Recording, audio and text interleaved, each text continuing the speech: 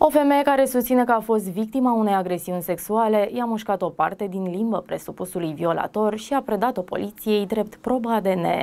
Femeia în vârstă de 57 de ani își plimba câinele în jurul orei 4 dimineața, într-un oraș din sud-estul Franței, când un bărbat a început să o urmărească. Individul în vârstă de 30 de ani s-a apropiat de femeie înainte de a încerca să o îmbrățișeze și să o sărute cu forța. După ce a încercat să își strecoare mâinile în pantalonii ei, femeia s-a luptat cu agresorul și i-a mușcat vârful limbii. Bucata de limbă a dus-o cu ea acasă, dar ulterior femeia s-a întors cu fiul fiul ei la o secție de poliție locală și le-a înmânat-o oamenilor legii drept dovadă. Bărbatul originar din Tunisia, care în prezent locuiește ilegal în Franța, a fost arestat de polițiști la fața locului. Acesta le-ar fi spus anchetatorilor că femeia a fost persoana care l-a atacat. Bărbatul va apărea în fața instanței și va fi obligat să părăsească Franța. Un incident similar a avut loc în Marea Britanie, când o femeie a mușcat în mod similar limba atacatorului său și a păstrat-o în gură pentru a păstra probe ADN.